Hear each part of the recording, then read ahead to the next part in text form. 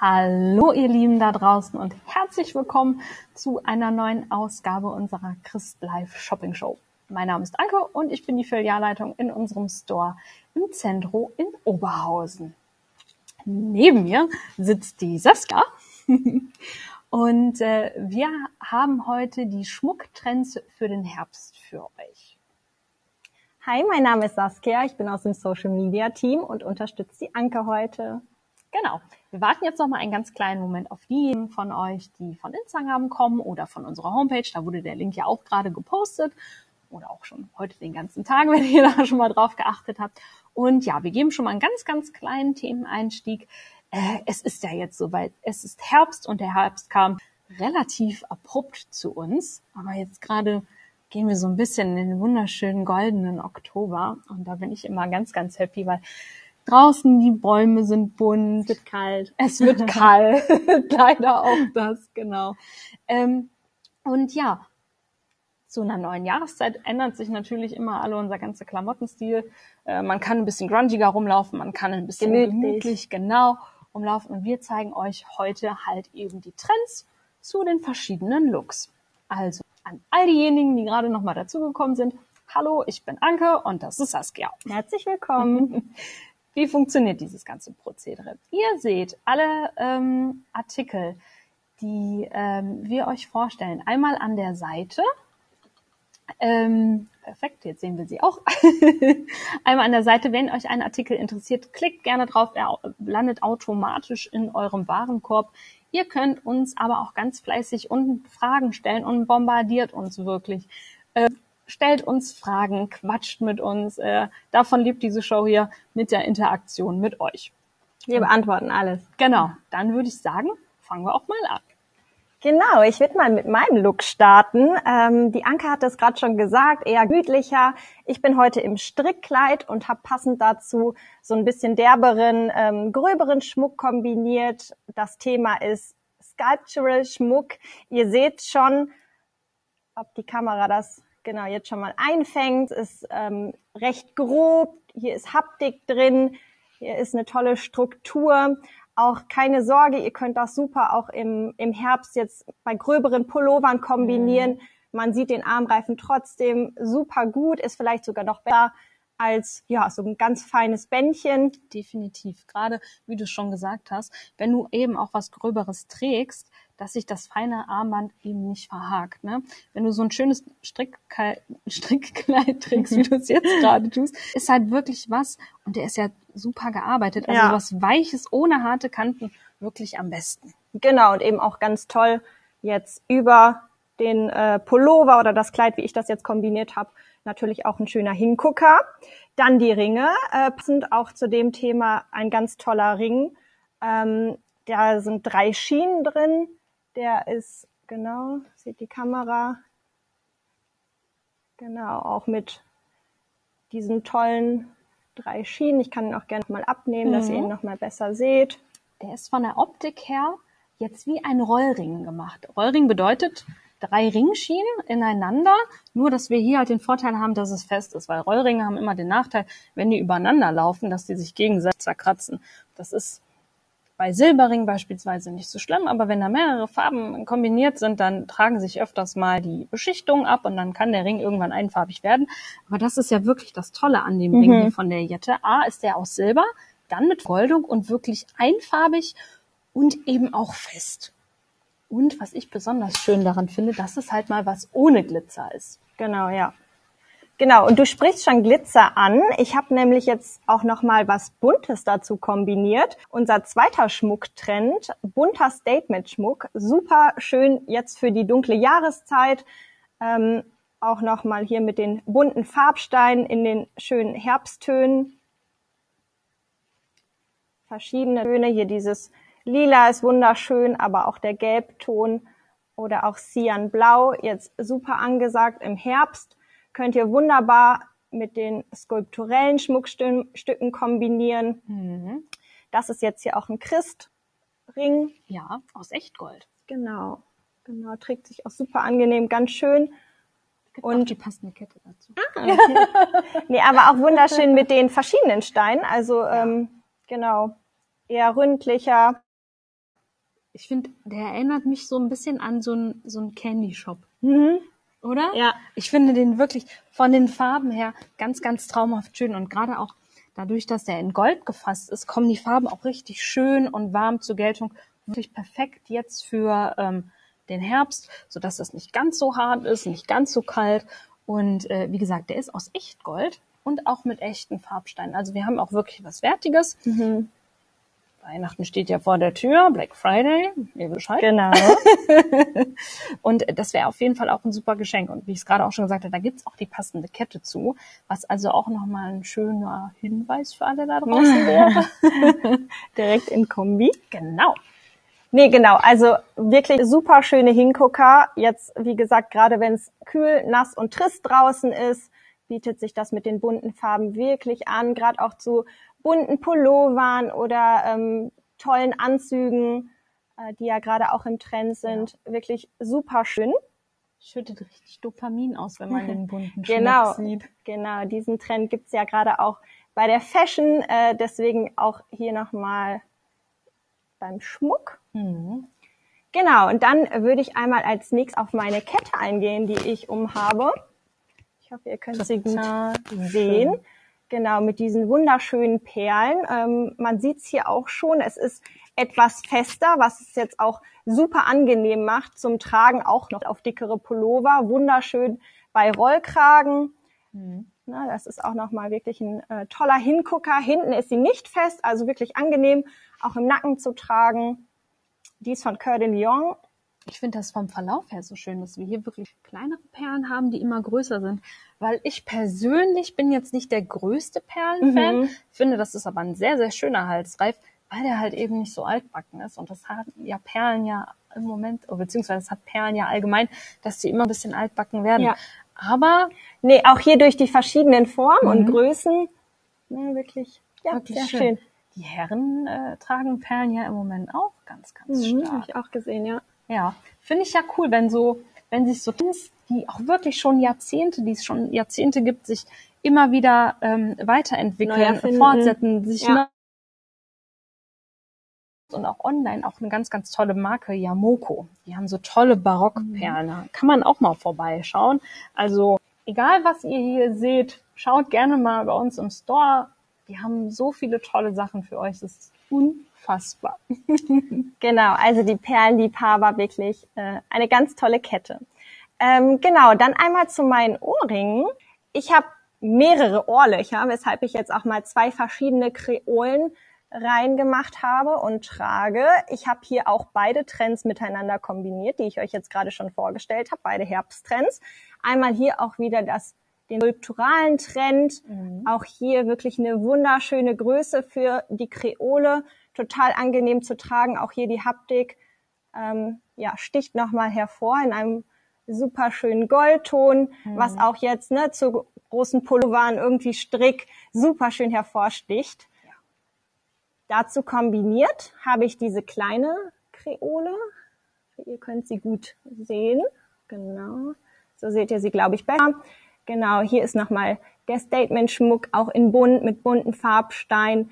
Finde ich super schön als Kombi, diese beiden Trends miteinander. So schön. Und gerade zum Beispiel bei den großen Kreolen, die du drin hast, die sind jetzt ebenfalls von Jette, genauso wie der Ring. Genau. Gibt's auch wieder in allen drei Farben, also auch in Silber und Roségold. Für diejenigen, die jetzt vielleicht nicht so goldig unterwegs sind, aber da zeigen wir euch gleich noch mal ein bisschen mehr.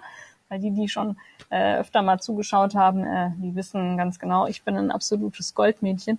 Und ich finde auch gerade die kleinen Ohrringe, die du drin hast, kleinen Kreolen von äh, Jacobs, die sind auch wirklich wunder wunderschön. Und gerade diese bunten Steine, die machen so eine gute Laune, finde ich. Ja, das voll. macht so Spaß. Ja, vor allem kann man sich auch tatsächlich, wenn man mehrere Ohrlöcher hat, wirklich austoben. Also ihr könnt jetzt auch Bicolor tragen oder ähm, ja, wie gesagt, setzt hier was Buntes ein, wie ich jetzt in dem Fall, kombiniert verschiedene Trends miteinander. Ähm, da sind wirklich keine Grenzen gesetzt. Definitiv. Ja, du hattest schon gesagt, wer äh, nicht so ein Goldliebhaber ist, wie wir beide es sind. Ich bin nämlich jetzt auch heute passend ähm, zu meinem Outfit, fand ich mit dem mit dem Beige, mit dem Camel Tone ähm, Gelb, äh, Gelb-Gold ganz toll und hatte das deswegen auch jetzt hier ausgesucht. Ähm, ja, Aber wir haben natürlich auch Silber mit dabei. Das zeige ich euch jetzt hier einmal. Genau. Da gehst du gleich noch mal näher drauf ein, mhm. auf diese Kette. Deswegen springe ich jetzt einmal rüber und würde einmal auf diese Kette eingehen, was auch noch mal mit dem Skulpturalen hier ganz schön zu sehen ist. Auch hier wirklich, genau, ich zeige das vielleicht noch mal so vor dem Stoff. Könnt ihr es vielleicht sogar besser sehen. Etwas zarteres Modell von Anhaie mit wirklich einem ganz, ganz, also was heißt ganz, ganz kleinen Anhänger, mit einem etwas zarteren Anhänger der dann eben, wie du schon gesagt hast, dieses Skulpturale hat. Kamera will gerade nicht so wie wir. Ja, stellt nicht ganz scharf, aber ich versuche noch mal jetzt hier vielleicht so. Ansonsten für genau. unsere Zuschauer da draußen, ihr könnt natürlich auch sonst gerne noch mal auf das Bild klicken. Absolut gar kein Problem. Ich würde sie sonst vielleicht mal umlegen. Mhm. Vielleicht könnt ihr das dann besser erkennen. Aber du bist auch eher der Goldmensch? Ja, tatsächlich. Privat auf jeden Fall gerne Gold. Ich würde aber auch ähm, Silber und Gold kombinieren. Ja, ich hoffe, ich ihr könnt das so mal ganz schön sehen, wenn ich mir das anhalte. Auch absoluter Fan vom Bicolor. Und auch hier, das zeigt es ja zum Beispiel gerade mit den weißen Perlen. Man könnte das jetzt auch tatsächlich den goldenen Halsreif auch mit der silbernen Kette kombinieren. Kombinieren. Also genau. da, wir können uns im Moment ja Gott sei Dank wirklich alles trauen, es so tragen, wie wir wollen. Genau. Gott sei es gedankt. Auch hier könnt ihr euch wirklich austoben und diese Skulptur mit der Perle kombinieren. Genau. Und genau. es ist auch wirklich ein schönes Stück beispielsweise fürs Layering, weil die äh, Kette ebenfalls auch ähm, Zwischenösen hat. Mhm. Wenn du da mal schaust. Mhm. Ah. Hier, wir können ja, die auf verschiedene, verschiedene Längen, Längen genau tragen, so dass wir da auch wirklich ein bisschen, bisschen Spaß dran haben. Genau, ich habe sie jetzt nicht ganz umgemacht wegen dem Mikro, nicht, dass ich mich da jetzt verhedder und ihr mich nicht mehr hört, aber einfach mal angehalten, damit ihr eine Vorstellung habt. Genau, ich würde auch direkt im Silber bleiben und mhm. diese tollen Ohrringe einmal von Calvin Klein euch zeigen. Auch hier der skulpturale Trend wieder zu sehen. Ich halte es jetzt nochmal vor den, vor den Stoff, genau. Das sind tolle Ohrringe. Calvin Klein hatten wir ganz, ganz lange nicht mehr im Sortiment. Die sind jetzt gerade erst wieder neu reingekommen. Haben die, glaube ich, erst wieder seit ein paar Wochen bei Christ. Ja. Die sind auch ähm, aus Edelstahl. Das heißt also auch farbecht. Mhm. Und ist immer gut für Allergiker. Weil meistens Allergiker nicht auf Edelstahl reagieren. Wenn ihr doch irgendwie Probleme haben solltet mit euren Schmuck, weil ihr darauf reagiert und ihr das gerade erst bei uns gekauft habt, ist das gar kein Problem. Kommt gerne in die Stores, wir tauschen das dann natürlich um, weil da wollen wir ja nicht so sein. genau. Einen letzten äh, tollen Ring habe ich euch noch mitgebracht. Oh, ja. Der ist wirklich auch ein richtiger Hingucker. Ich tausche einmal meine Ringe, dass ihr den auch einmal getragen seht. Wer es wirklich Statement, also mhm. wer wirklich Statement Schmuck mag und es extravagant mag, für ja. den ist dieses tolle Stück geeignet. Der ist auch von Sif Jacobs, genau wie der andere Ring, den ich euch vorhin schon mit dem Farbstein gezeigt hatte nehme ihn vielleicht auch noch einmal ab. Ich zeige ihn euch noch einmal. Besonders schön, dass die Steine auch alle eine unterschiedliche Größe haben, dass so ein bisschen aussieht wie ein bunter Sternenhimmel. Oh ja, das stimmt. Auch die Form ist wirklich ganz anders. genau nochmal ein Kontrast zu den anderen Ringen. Ich setze ihn vielleicht doch nochmal an. Schauen, dass ihr es auch bestmöglich seht und auch eine schöne Inspiration bekommt, getragen geht richtig gut auf den Mittelfinger. So zu so einem schön bunten Anzug aktuell beispielsweise. Oder wie du es jetzt trägst, zu einem Strickkleid, sei es jetzt ein, ein ähm, einfarbiges oder mit mehreren Farben. Richtig schön. Tolle pinke Lederhose. Schön. Ja, richtig. Eine ja. schöne pinke Lederhose. Da wäre das genau auch ein super Hingucker. Ähm, wo wir schon bei extravagant sind, ist oh, ja. ein super schönes Teil, dieses oh, Swarovski-Armband. Ja. Swarovski im Moment, die haben ja schon immer tollen Schmuck gemacht, aber ich finde, dieses Jahr haben die wirklich tolle Kollektion rausgehauen. Ja, auch wirklich ein ganz besonderes Armband, ein wunderschöner Farbton für den Herbst. Ich hatte euch den ja gerade schon mal in dem Ring gezeigt. Ich hoffe, ihr könnt auch super erkennen. Also auch hier super schön über dem Strickkleid oder eben auch zu dicken Pullovern, ein bisschen hochgeschoppt, kann man das Armband wirklich auch im Herbst und Winter wunderschön tragen. Auch hier vielleicht etwas besser als das ganz feine Armband. Ja. Oder zu ähm, ja, tollen Anzügen, bunten Anzügen, auch nochmal super. Das ja gerade sieht man überall. Mhm. Das Schöne bei dem Armband ist ja auch, das ist ja, sorry, Frosch im Hals. ähm, es ist ja quasi ähm, von dem silberfarbenen Metall eingefasst. Ja. Der Stein selber ist aber gelb. Also auch wieder ein tolles Stück, was man halt eben bicolor kombinieren kann. Genau, so sticht er auch wirklich wunderschön hervor, der Stein. Genau. Wirklich schön. Aber Anke, jetzt erzähl du doch mal, was hast du denn alles mitgebracht und was hast du an? also, ich habe heute zwei andere Looks mitgebracht, beziehungsweise zwei andere Schmucktrends. Ähm, einmal den äh, Vintage-Trend und dann einmal den Y2K-Trend. Einmal den Trend, den Y2K, ähm, die Schmuckstücke von damals, die wir schon als Kinder getragen haben. Man sieht es ja jetzt überall.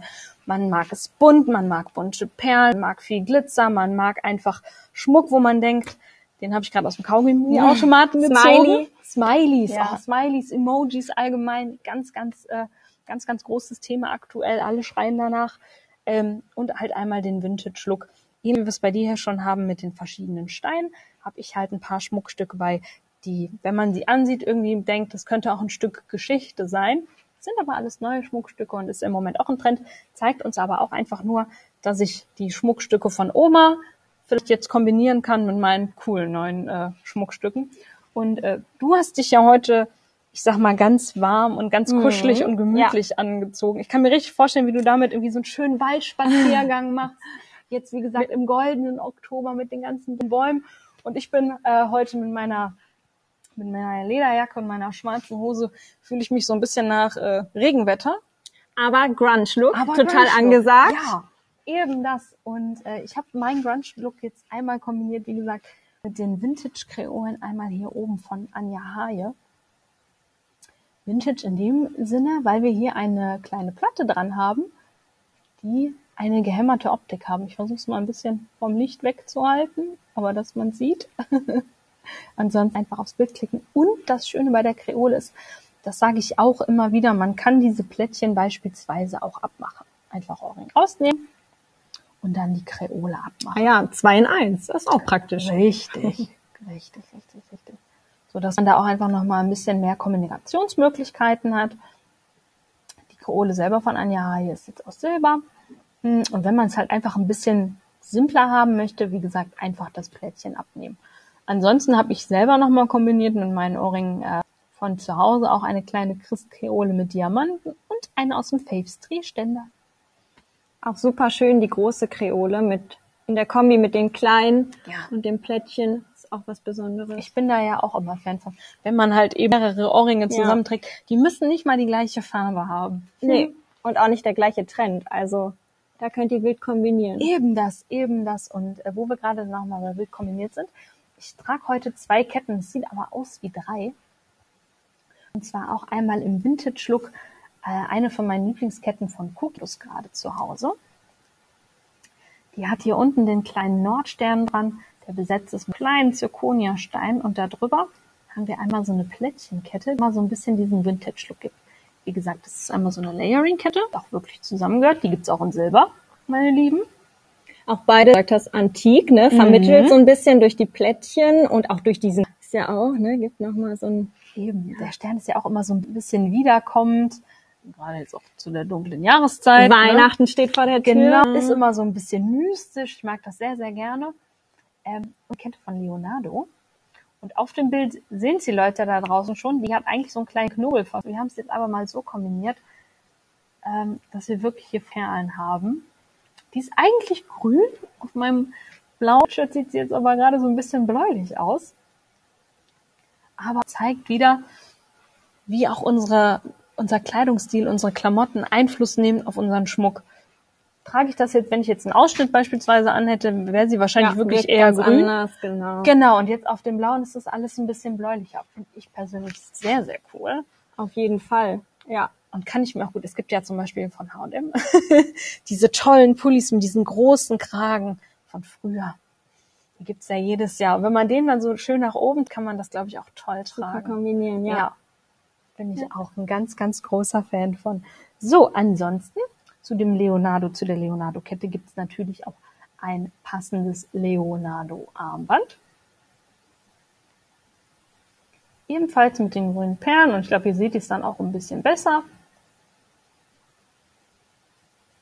Finde ich ja auch wirklich niedlich und ich halt zum Beispiel mal die Uhr dazu, die jetzt auch zufällig ein grünes Ziffernblatt hat. Mensch, Das passt. Jetzt hätten wir uns alle abgesprochen. Passt halt auch extrem gut. Dadurch, dass wir hier so weiße Perlen zwischen haben und das Goldene, kann man das auch wieder gut mit Gold und Silber kombinieren. Genau, auch nochmal als Kontrast, wer es nicht so ja, grob und bold mag, was ich jetzt trage, ne, für den ist vielleicht diese zarte Kombination was, auch tolle Herbstfarben mit dem Grün und Braun. Mhm. Finde ich auch wirklich total zauberhaft. Und dann habe ich hier noch auf der anderen Seite drei Ringe. Ebenfalls im Vintage-Look. Hier habe ich einmal einen Christring mit einer wunderschönen Perle und zwei kleinen Steinchen links und rechts aus Echtgold. Ich trage den jetzt heute am Zeigefinger. Ich gehe euch noch mal ein bisschen näher. Und auch hier haben wir es einfach Perlen, wie ich es gerade schon gesagt habe. Ich persönlich bin jetzt eigentlich nicht so der Perlenfan, aber die sind halt einfach wieder im Kommen, ne? Ja, und in Kombi mit den anderen Ringen super gut. Ist halt auch wieder, wie ich es gerade schon mal gesagt habe, ne? Ich kann den Schmuck von Oma zu meinem anderen Schmuck kombinieren, sodass man dann auch immer was von Herzen dabei hat. Persönliches, emotionales. Genau. Ansonsten habe ich hier neben einmal einen schönen Ring von Cookie mit einem Opal. Der hat einen ganz, ganz tollen Effekt, Leute. Der funkelt so richtig schön in Regenbogenfarben. Und dahinter ein Ring von Guya. Eine relativ frische Marke bei Christa haben wir jetzt seit ungefähr einem Jahr aus 585er Gelbgold. Und auch hier, das sind unterschiedliche Materialien, ist aber absolut gar kein Problem, die zusammen zu kombinieren. Von der Farbgebung sind die eigentlich auch sehr, sehr ähnlich. Auch super schöne Form von dem kleinen Steinchen, auch hier wieder antik. Ja, Ne, man, ja, könnte auch von der Oma sein. Genau, als hätten wir einfach schon ein bisschen so ein Stück Geschichte Ja. äh, an der Hand. Ja. ja. Aber so Thema Geschichte. Gehen wir nochmal auf den Y2K-Trend zurück. Ähm, die 90er und die 2000er. Die Ich hatte es gerade schon mal kurz angeteasert, in die Kamera gehalten. Genau. Hier haben wir einmal eine Kette von Guido Maria Kretschmer. Mit so einem ganz süßen Smiley. Da, da sieht man ihn perfekt. Der Smiley ist in rosa unterlegt. auch diese Glieder, die, so eine Gliederkette hatte ich auch schon mal. Mhm. Dito, ich habe auch eine in Gelbgold. Ah, Ich habe alles in Gelbgold. aber super süß mit den, mit dem Emoji. Total. Macht direkt gute Laune. Genau. Vor allem jetzt, wie gesagt, bei dem dunklen Herbst. Ja, und das Schöne daran ist natürlich auch, dadurch, dass es diese Glieder sind, ich habe absolute Freiheiten, was die Länge der Kette angeht. Also ich kann die kurz tragen, ich kann sie lang tragen und es ist äh, Edelstahl bei Guido Maria Kretschmer, so dass ich da wirklich, hoppala, so dass ich da auch wirklich ähm, mich frei bewegen kann ähm, und das nicht irgendwie davon abhängig machen muss. Ähm, kann ich die beim Schlafen nicht tragen? Kann ich damit nicht duschen gehen? Edelstahl ist farbecht, es bleibt ganz genauso, wie es ist. Und passend dazu gibt's auch Kreolen, auch mit dem kleinen Smiley. Super niedlich. Vor allem in Kombi mit der Kette. Ja, ich kann mir die Kreole auch sehr, sehr gut beispielsweise im zweiten Ohrloch vorstellen. Oh ja. Wenn man davor dann vielleicht deine Kreole trägt. Ja. Ne? Ja. Eher was Gröberes und dann Genau. Und auch hier, ich mache die Kreole auf, ich nehme den Smiley raus und habe eine einfache Kreole für den Alltag. Wenn ich zum Beispiel vergesse, irgendwie beim Sport meine Kreolen rauszunehmen, ich nehme einfach die Münze ab und habe damit eine ganz einfache kleine Kreole. oder auf der einen Seite mit Smiley, auf der anderen Seite Ja. ohne, auch mega cool. Ja, das wird ja auch so gerne aktuell gemacht. genau. Finde ich ja auch richtig schön. Ich habe das auch mal gemacht mit so einem kleinen Kreuz aus unseren Drehständern und hat mir das in die Kreole gemacht. Ja. Das war auch cool. Ja, das ist schon schön. Wenn man auch mehrere Ohrlöcher hat, kann man immer variieren. Ja. Ne? Dann Leute, kann man sich austoben. kommt vorbei, wir stellen euch Ohrlöcher, ganz, ganz viele. ansonsten auch eins meiner Lieblingsstücke jetzt gerade aus der Sommerkollektion ist es noch von Guido Maria Kretschmer.